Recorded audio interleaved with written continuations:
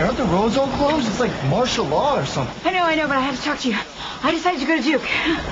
Oh, okay. Why don't you come inside? Okay, so I've been doing some research, and Duke has an amazing basketball program. I mean, their coach, this guy, uh, Coach Kraszewski, he's like a legend. Coach Krzyzewski? Yeah, what? People call him Coach K. And so should you. I mean, you should have this opportunity. Duke's a really great school, and I think I could be really happy there, especially if I was with you. Well, you can't go to Duke, Hales. And I don't want you to. You don't want me to, right?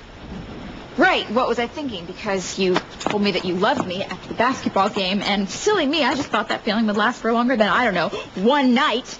But, and again, I forgot. You're the guy who loves to rip the rug out from underneath me just when I feel like we're getting some sort of stable ground. Haley. And then you freak out after we have sex for the first time in God knows how long. And by the way, I know exactly how long it was. And frankly, I'm still pissed off at you about that whole birth control thing. What? Haley, you can't go to Duke. Because I'm going to Stanford.